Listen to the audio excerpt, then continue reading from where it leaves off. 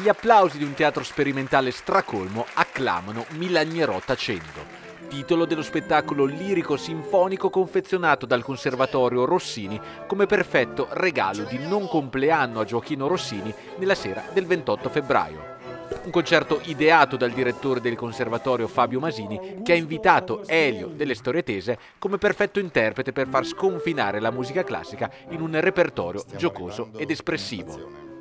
Elio che è entrato in punta di piedi sulle revisioni in stili diversi di 11 brani tratti dai Pesce de Vieillez di Rossini, tra cui l'ironico appunto Milagnerò tacendo.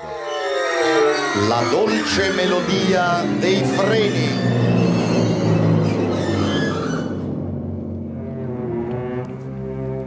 Arrivati in stazione. I leoni parigini offrono la mano alle cerbiatte per aiutarle a scendere dal vagone.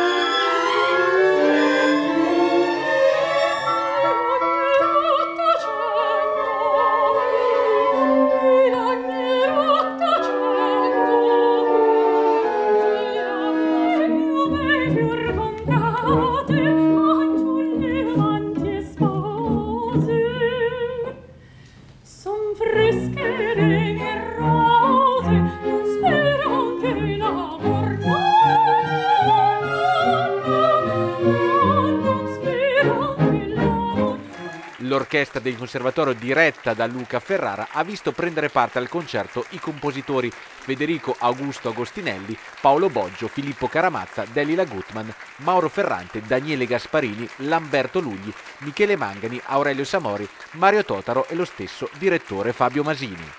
Il Rossini Opera Festival vi ha aggiunto due suoi giovani cantanti come Pietro Daini e Chiara Tirotta. Elio, al secolo Stefano Belisari, si è invece riappropriato di un suo vecchio legame con Rossini, determinante per gli ultimi anni della sua carriera. Sono già stato qui varie volte e come ho detto diciamo 25 anni fa è stata la volta più mm, significativa ecco, perché partecipando al ROF eh, ho un pochino diciamo, scelto poi di intraprendere un'altra strada che continua ancora oggi.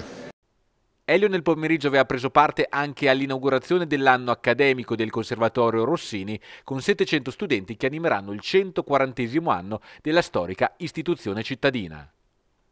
Credo che sia un momento importante perché diamo vita ad un anno accademico straordinario, il 2022-23, è il 140 della fondazione del Conservatorio Rossini eh, ed è anche un momento magico da un punto di vista di restituzione della bellezza alla città di Pesaro perché abbiamo avuto un importante finanziamento grazie alla coralità, all'impegno congiunto di tutti i soggetti coinvolti, Conservatorio, Comune di Pesaro e Fondazione e quindi posso anticipare che a breve indiremo la gara tramite la provincia per mettere a nuovo per quello che è possibile il Conservatorio Rossini.